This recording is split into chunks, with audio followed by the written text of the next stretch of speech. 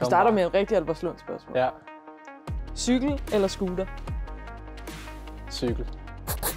FIFA eller Call of Duty? FIFA. Første division eller Norge? Norge. Van Dijk eller Sergio Ramos? Sergio Ramos. Hættetrøje eller habit? Jeg. AIF eller HIC? AF helt klart. Ringenes Herre eller Harry Potter? Mm, Ringes herre. Glidende eller stående takling? Stående.